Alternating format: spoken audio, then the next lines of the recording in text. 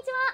ギルドの受付嬢ですが残業は嫌なのでボスをソロ討伐しようと思います。アリナクローバー役の高橋理恵です。9月16日はアニプレックスオンラインフェス2024私も出演させていただきます。今年の AOF も新情報が満載ということで視聴はもちろん無料。ぜひぜひオンラインでお待ちしておりますのでお楽しみに。AOF へ